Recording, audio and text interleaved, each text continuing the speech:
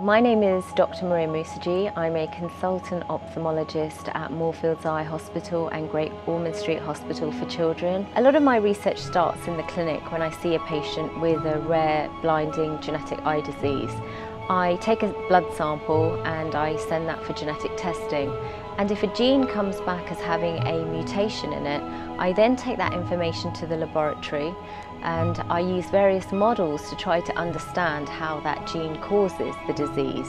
So two main models that I work with, firstly are zebrafish. Zebrafish lay their eggs and they're fertilised in the water. The zebrafish embryo is clear and transparent for the first three to four days of its life. This allows us to look at organs, especially the eye, in great detail and they share about 70% of their genes with humans. So often, if you have a disease that causes a, a particular eye condition in humans, we can often replicate that in our zebrafish models.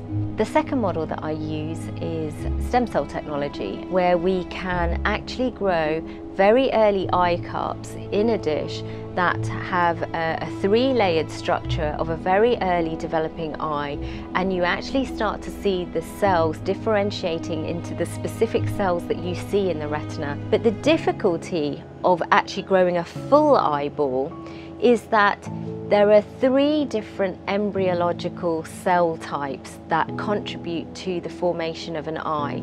The retina comes from one particular type of cell type and that's why we can potentially successfully grow that.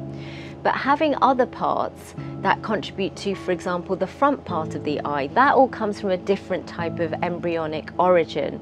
And so it's now trying to find out how we can potentially intermingle the cells of different embryonic origins so that they signal together with each other to then generate a whole eye and we're, we're not really there yet but we are more likely to be able to transplant a donor eye by learning how to connect the optic nerve in, in a safe and appropriate way so that we can take a healthy eye and connect the optic nerve and then signals pass to the brain and that helps them to see um, rather than grow an entire eye that could be transplanted.